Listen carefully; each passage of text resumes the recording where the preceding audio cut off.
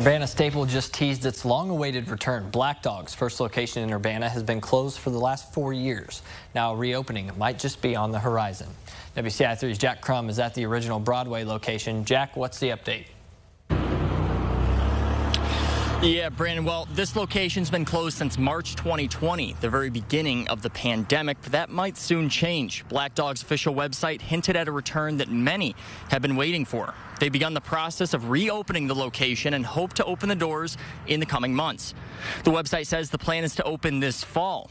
I'll tell you what, though, no one is marking their calendar more than Urbana Mayor Diane Marlin people have been asking about Black Dog opening since the day it closed. So it's been a, a few years coming, but we're delighted to uh, to hear that they plan to open this fall.